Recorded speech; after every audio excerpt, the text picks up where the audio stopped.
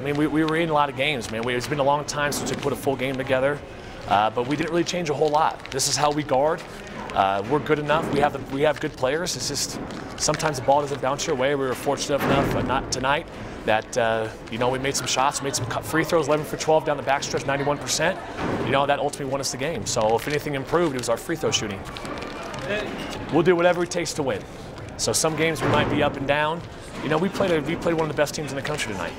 You know, they're projected to win their conference. They're projected to do really well in the region. Uh, and they send four or five people back. They don't really send a lot of guys to the offensive glass. They do a great job with their floor balance, which sort of takes away our transition.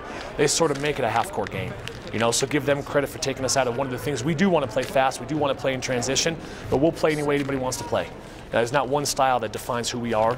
You know, we can win ugly, we can win nice. It doesn't really matter to us. We just want to play and we want to we want to compete. And tonight we were fortunate enough to uh, the ball bounced our way.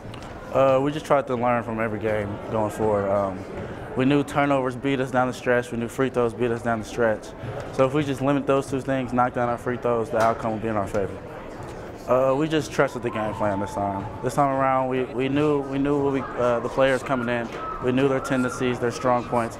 We just tried to um, make them do something different, something than their uh, regular feeling. And it worked tonight, and we were able to get the. You know, he just believes in all of us, and he just tells us to stay focused after the timeout. And coming out after halftime, we just got to keep that mentality that we're going to leave with the win. Uh, we're all ready. We're excited to get things going. We can't wait to take on Chadron State on the road. We're ready.